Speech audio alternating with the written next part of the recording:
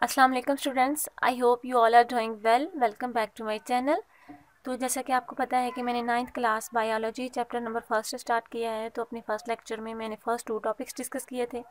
आज हम topic number third discuss करेंगे, कुरान एंड बायोलॉजी मीन्स कि कुरान एंड बायोलॉजी का आपस में रिलेशन क्या है? बायोलॉजी किस तरह से कुरान पाक के साथ रिलेट करती है?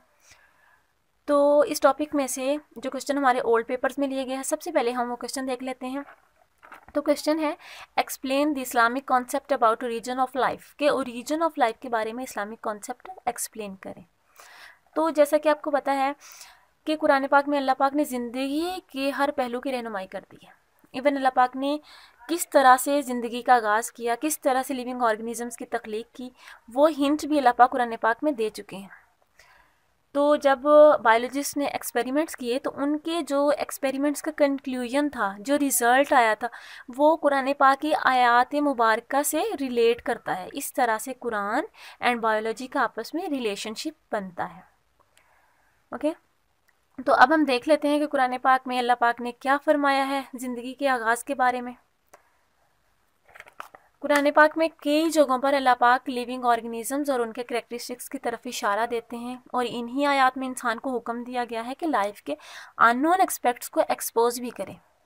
यहाँ हम इसी गाइडलाइन की कुछ एग्जांपल्स देखेंगे। तो पहली आयत मुबारक जो यहाँ पर ली गई है, वो सुरह अम्बिया से ली गई है। आयत नंबर थर्टी है। अल्लाह पाक इस आयत में फरमाते हैं we made every living thing from water कि हमने हर लिविंग ऑर्गेनिज्म को पानी से तख्लीक किया। एंड वी नो दैट कि पानी ऑल लिविंग ऑर्गेनिजम्स के प्रोटोप्लाज्म का 60 टू 70 परसेंट बनाता है। कि जितने भी लिविंग ऑर्गेनिज्म मौजूद हैं, उनके प्रोटोप्लाज्म की जो कंपोजिशन है, उसमें 60 टू 70 परसेंट पानी मौजूद है। ओके और हम ये भी जानते हैं कि जो पानी है, वो ऑल लिविंग ऑर्गेनिज्म का कॉमन ओरिजिन है। अल्लाह पाक ने इंसान को अपने दिए गए हिंट पर सोचने का हुक्म दिया है। हमें लिविंग थिंग्स की स्टडी करनी चाहिए और हमें इनकी इब्तदा के मतलब जानना चाहिए, ताकि हमें पता चल सके कि ज़िंदगी का आगाज़ कैसे हुआ। और जो नेक्स्ट आयत मुबारक है, वो सुरह रहमान से ली गई है और आयत नंबर फोर्टीन है। इसमें लपक फरमाते हैं he made man from clay like the potter कि मैंने इंसान को ठीकरी की तरह बजती हुई मिट्टी से पैदा किया, ओके? और एक और आयत मुबारक, में लपाक फरमाते हैं then fashioned with the drop a clot, then fashioned with the clot a little lump, then fashioned with the little lump bones, then clotted the bones with flesh. ये सूरल मोमिनून की आयत नंबर फोर्टीन है इसमें अल्लाह पाक फरमाते हैं कि हमने नुतफ़ा को क्लॉट मीन के खून का लोथड़ा बनाया और फिर हमने इस क्लॉट को लिटल लंप मीन्स के गोश्त की बोटी बना दिया और फिर हमने इस लंप के डिफरेंट पार्ट्स में बोन्स बनाई, हड्डियाँ बना दी।